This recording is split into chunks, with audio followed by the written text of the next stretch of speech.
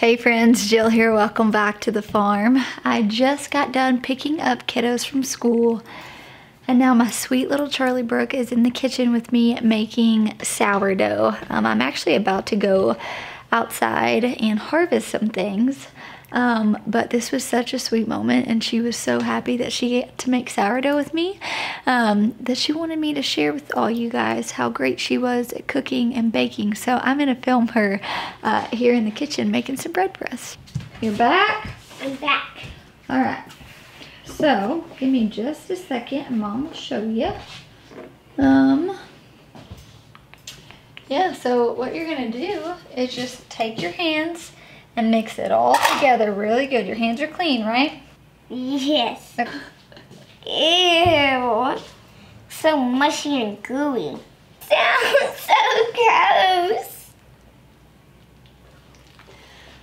Good job. To me. You're doing good. So look, there's still a little bit more flour. So you're doing good. Just keep like taking it from the bottom and flipping it to the top, okay? Okay. Yep, just like that. So we got to get all that flour good and incorporated, okay?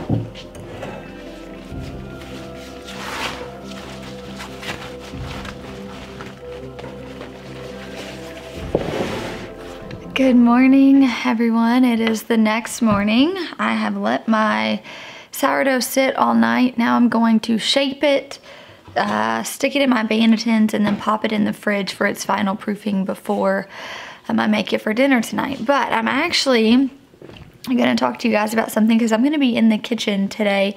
Um, a lot of you guys have asked for cooking content um, and we just haven't done it for whatever reason. So today I'm actually going to be playing around trying to create a butternut uh, squash soup recipe. So we are doing something with some friends of ours the beginning of November and it's like this really beautiful setting at a friend's place and I got, it's kind of like this farm to table dinner, but just with like close friends. And so I'm gonna be taking care of the charcuterie board. So I've been making lots of fermented things and kind of thinking through what's gonna pair really well together. I'm gonna be making a bone marrow butter, which I'm real excited about. Um, and then I'm gonna be making a soup. And so I'm trying to figure out today, and probably won't happen today, but this week I'm wanting to kind of nail down what I want in this soup. Uh, truthfully, I've never made butternut squash soup. However, I'm growing a lot of butternut squash on my farm. I'm doing these small little South Anna ones, which are more personal size. I'm doing really um, like the big ones that are gonna get a, quite a bit bigger. And so I've got lots of different varieties. I've got some honey nuts. Um, and so I'm just gonna play around with flavors today. And so let's get this sourdough shaped um, and in the fridge while we play around in the kitchen. Well, I've got my bannetons, I've got my rice flour, which I just use the Bob's Red Mill. Um, I just like to coat my bannetons in this. Um, it just, it makes it to where the dough doesn't actually stick. So you'll see I'm just kind of moving my banneton in this circle and coating it really well. If you don't have brown rice flour, you don't have to use that. You can use just a, a normal flour. Um, I just find that I like this. I can usually find it on sale and I just stock up on it. um, last night with Charlie. And then I did my rounds of lifts and folds, but then I left it on the counter overnight. And then I'm gonna get up this morning and I'm shaping it like what I'm doing with you guys, but then I'm popping it in the fridge for the final proofing. And this can stay in there for as little as three hours or I've left it in the fridge for up to 24 hours. And really the longer that you leave it, the more it's really strengthening that flavor of sourdough. Um, and I actually really prefer that. But it's great because if you, the night before, do all your lifts and folds, you leave it on the counter and you have to get up and go to work the next day, you can easily just do what I'm about to do pop it in the fridge all day, come back home from work and be baking it. So I know for me, that was one of my bigger struggles when I was getting started with sourdough is trying to figure out how it works with my schedule. And so I found that this was really conducive to that and just helped a lot. Um, so if you want this recipe, it is in the free daily loaf ebook. Um, I'll put the link down below, but if you want a step-by-step -step walkthrough, like we've got Sourdough Starter on our website and we have a course where we just like walk through all the things. So if this is a bit overwhelming and you want to deep dive a bit more, look into one of those resources. Um, you can see my sourdough has grown quite a bit, which is nice. Let's start shaping.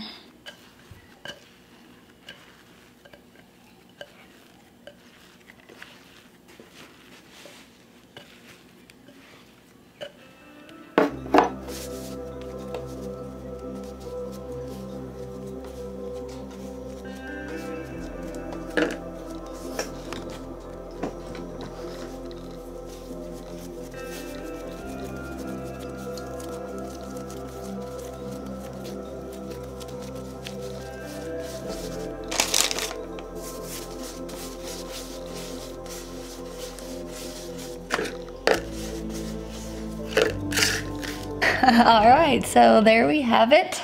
So what I'm gonna do is just wet my towels, pop them back over the Banneton, and throw them in the fridge.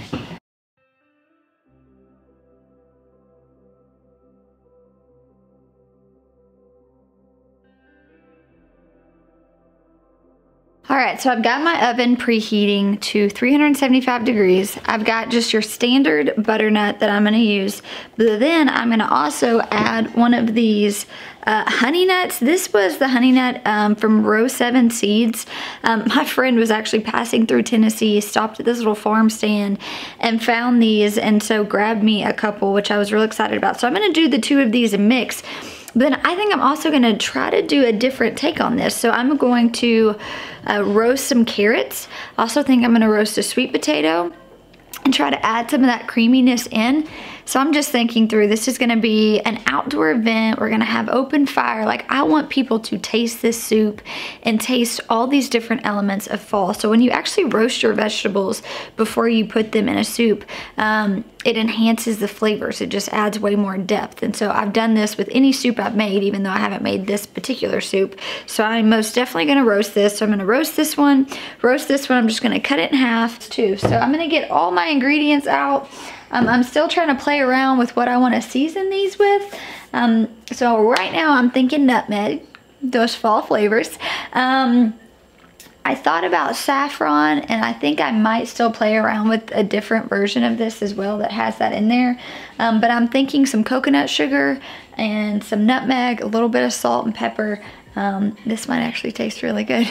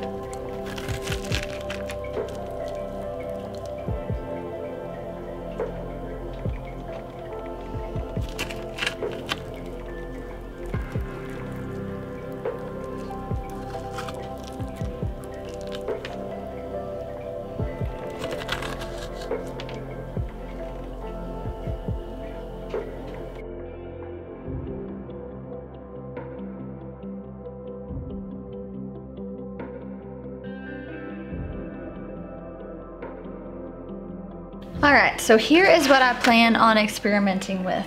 I have got Tuscan herb oil because I think herbs would taste really well, but I don't really have any fresh herbs. So I thought, well, I'll use the Tuscan herb oil to kind of give it that little bit of flavor.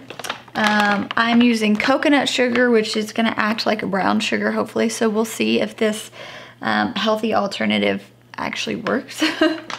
I'm gonna do nutmeg. I think that if you had access to um, fresh nutmeg where you could ground it down, that would taste a lot better, but I couldn't find that. Then I'm gonna drizzle it with some honey and then add some salt and pepper. So we'll see how this turns out.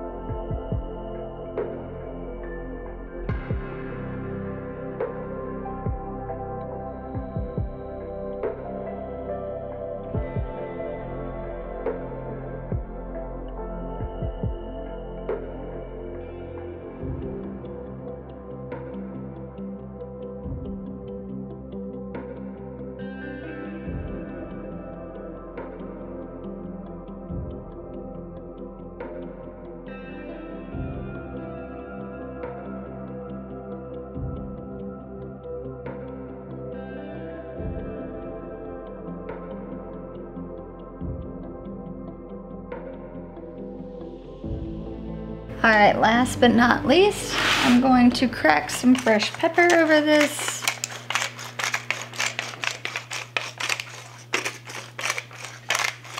I'm smelling a lot of the nutmeg and I know I was heavy handed on it, but my thought is when I get ready to blend this, so I'm actually gonna make this soup um, just by blending it, I'm gonna add some um, like raw cream. And so I know that that's gonna kind of dilute the flavors a little bit.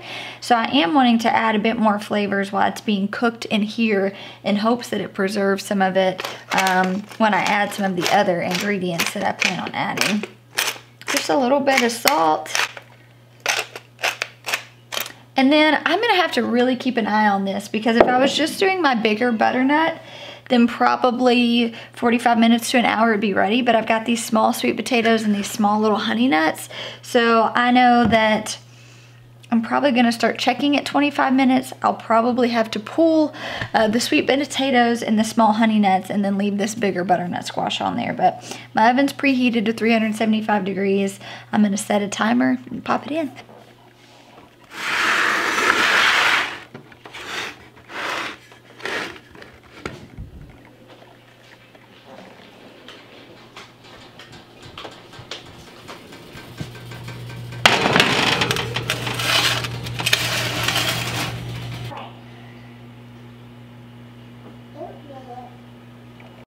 Guys, I have pulled the squash out of the oven. It smells divine.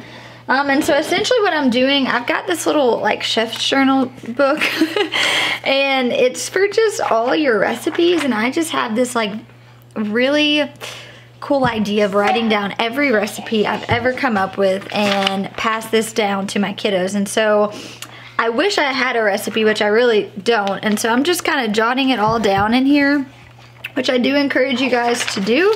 Um, and there's, you know, areas in here where you can kind of put like replacement ingredients, um, dish inspirations, possible improvements. So I really like that because it allows me to put the original recipe and then go in and kind of tweak it a little bit.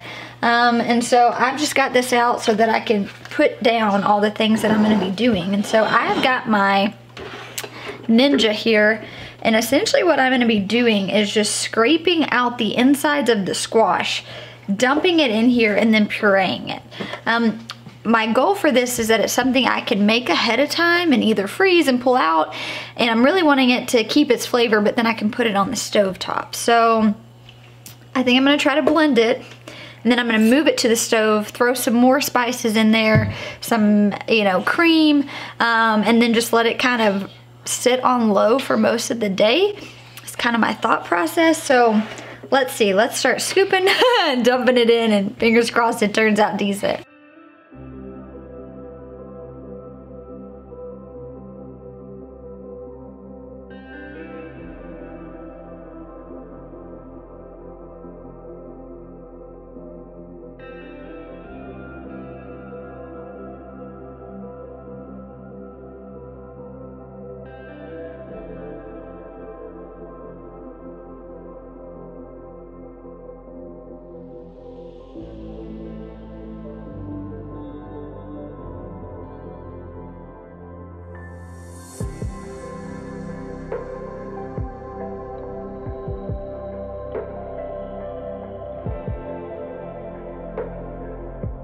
So it smells exceptional. Now when I add it into the stock pot, I'm gonna add like a, um, a broth to it, some other seasonings. Let's see.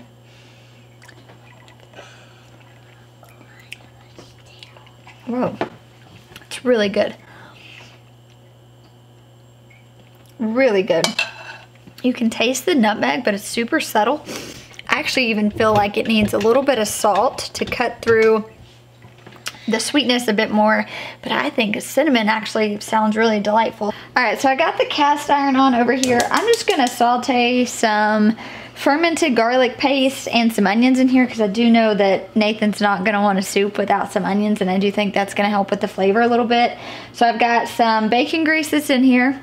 Um, again, you can use ghee, you could use real butter. That's just what I already had in the cast iron um, from the previous thing that I cooked. So I'm just melting this. I'm probably gonna chop up a large um, onion and probably three tablespoons of uh, garlic, I think.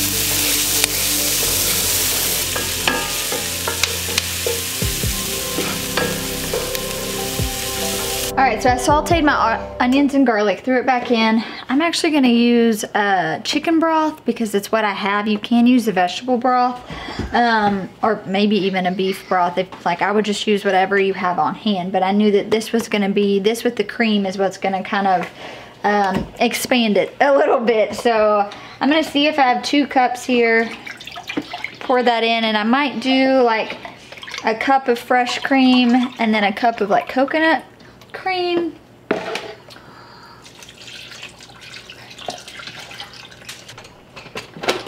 Blend it up and we'll see. All right, so this definitely gave it a more soup-like consistency. Pretty runny, actually. Um, but I think it'll be good, so let's taste it. So you can definitely taste the garlic. In my opinion, it still needs salt. So I'm gonna put this back um, on the stove. I don't actually know that I'm gonna add cream. I think I might save that and garnish with it um, because I personally really like the consistency that's here. If, it, if I added too much more liquid, I think it might be too liquidy. Um, even though when you think of a soup, you think of runny, I want this to kind of be a thicker type soup. So the flavor's there for sure. I still think I might add a little bit of turmeric, maybe a little bit of curry powder for, I'm looking for a bit of a punch. Not quite feeling that punch, but look how stunning this color is. So let's move it back to the stove. Let's add some stuff in there. I'm just gonna keep it on low pretty much all day and let those flavors just marinate really, really well.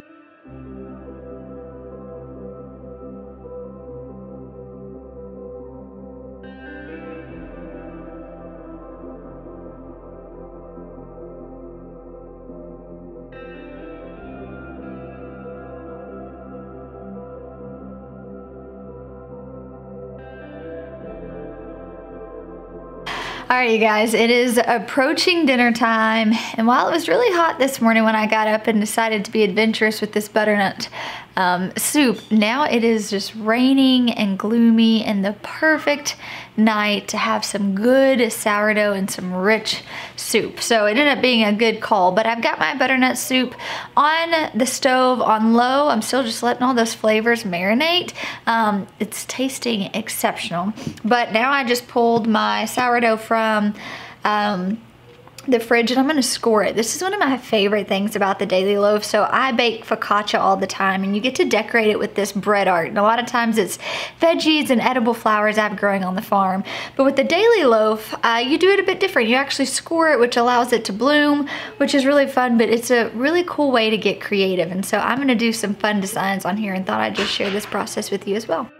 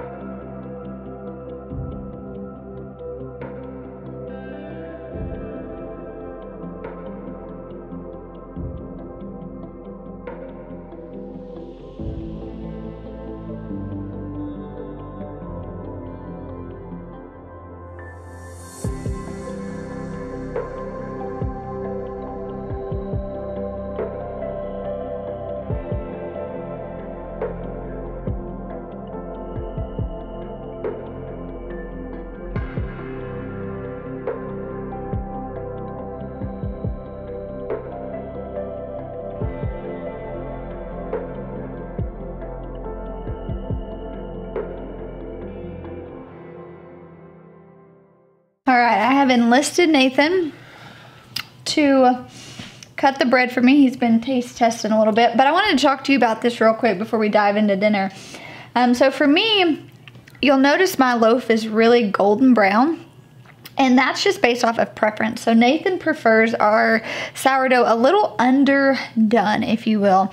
And so, one, you know, sourdough's good when you completely just squeeze it down and it bounces back up. You see that spring? That's actually really good but he likes the inside a little bit gooey, a little bit softer. And so I know that I need to have that outside, this like nice golden color, not really burnt. If you look at the bottom though, the bottom's done. You knock on it, it's hollow. That's a good sign for sourdough. Um, but you can totally make this darker.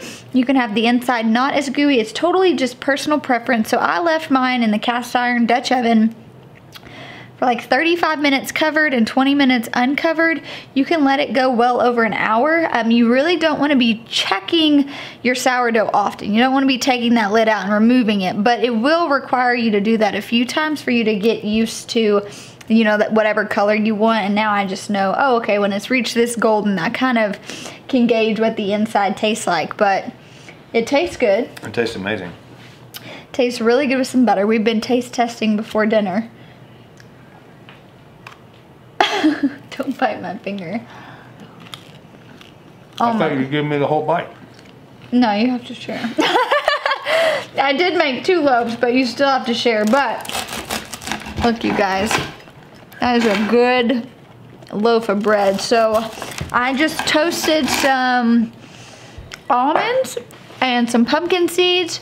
We're gonna garnish that on top with some whipped cream cheese and a sprig of thyme.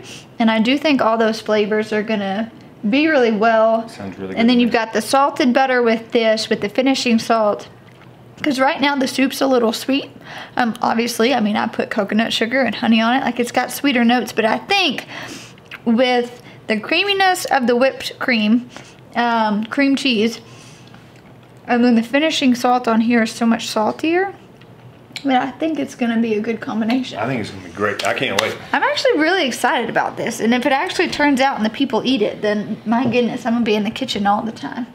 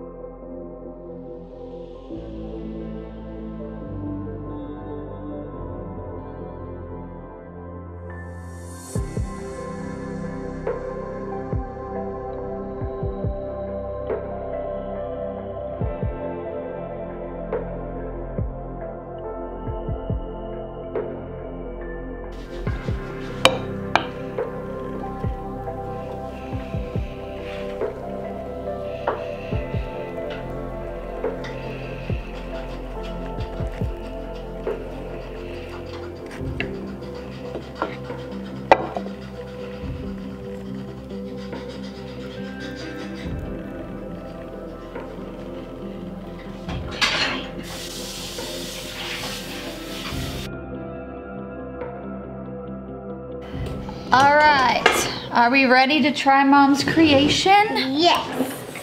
Let's see. I'm dying to try it. Is it applesauce? It's butternut squash soup, June. Mmm, that's good. That's yummy. So the crunchiness of the toasted pumpkin seeds and almonds is delightful. What do you think, babe? A mouthful. This is really good. I do think I'm gonna take some finishing salt and sprinkle on here, sprinkle on here. But that's a wrap, you guys. My first recipe creation is edible and it feels so good. It's amazing, let me tell you. Yeah, so thank you guys for hanging out with me in the kitchen. If you want to know how to make sourdough in depth, I have a, a, mini course. I actually have my sourdough going off right now in the oven, but I'll put the link to everything down below for the starter or for the course. But ultimately, I just encourage you guys, get in your kitchen and create. You have no idea if you're capable of doing something until you do it. This was a love I had from childhood that I'm finally nurturing and cultivating a space for, and it feels really good. But thank you guys for hanging out with me in my kitchen today. I'll talk to you soon.